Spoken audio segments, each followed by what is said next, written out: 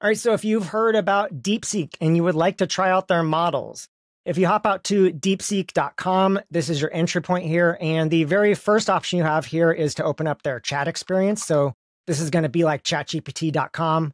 And then you've got a message box, of course. You have your history of messages over here.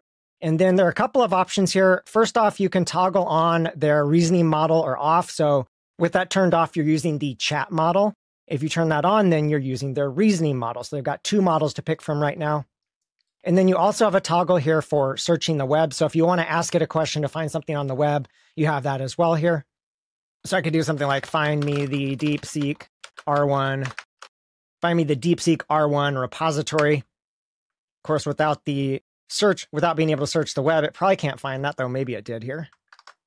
Okay, found that there. Let's try that again, though. So let me see. Can I edit this? Yep, I can edit this. And then down below, I'm going to toggle on search here.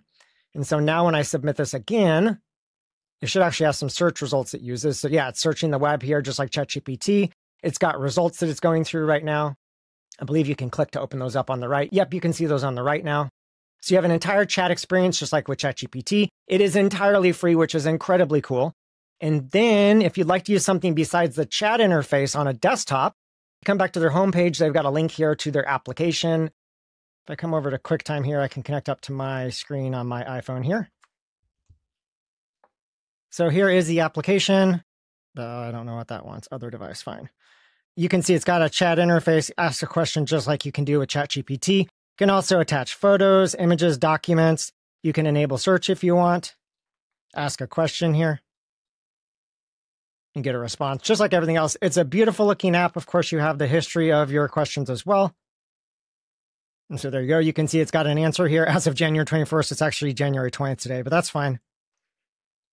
That works. So yeah, you can use the application. And then in addition to the application, if you come up to the upper right here, there's a platform section.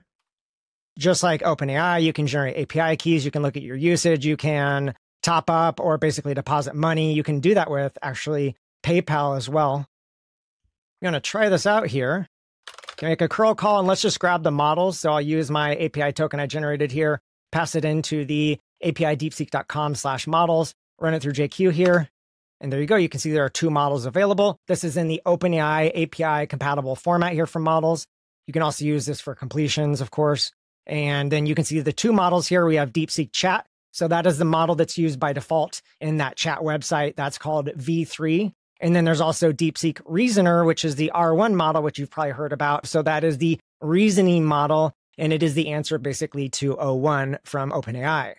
And then in addition to the API, I'll have a separate video coming out about how you can actually run these models because they've been open sourced. They're MIT licensed as well, which is incredibly cool. I'll show you in a separate video how you can run these locally using Ollama. So keep an eye out for that.